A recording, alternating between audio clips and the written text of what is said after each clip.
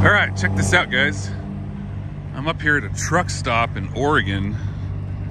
There's this old abandoned Kenworth cab over sitting out back. I just talked to the manager. They said it's been sitting here for a while. It's got to go. Let's take a closer look at it. Tires are pretty bad.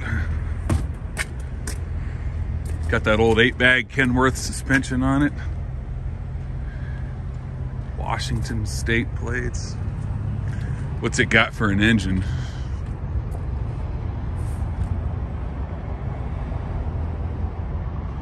Oh, big Cam Cummins.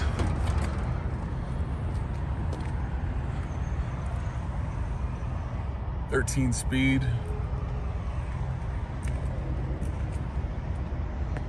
Needs a little TLC or a lot.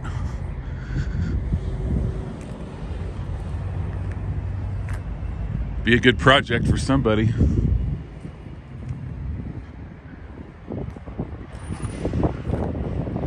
Oh no, look at that. That is not good, not pretty. Some pretty serious damage there. Ouch.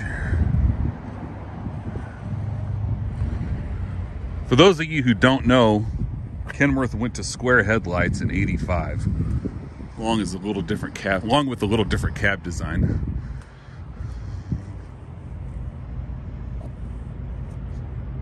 Tank says 88 if that's original.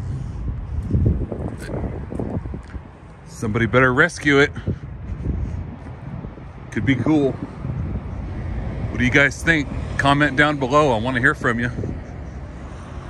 When was it last registered? 2001.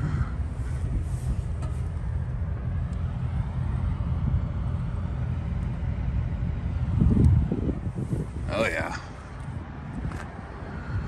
Sharp truck back in the day.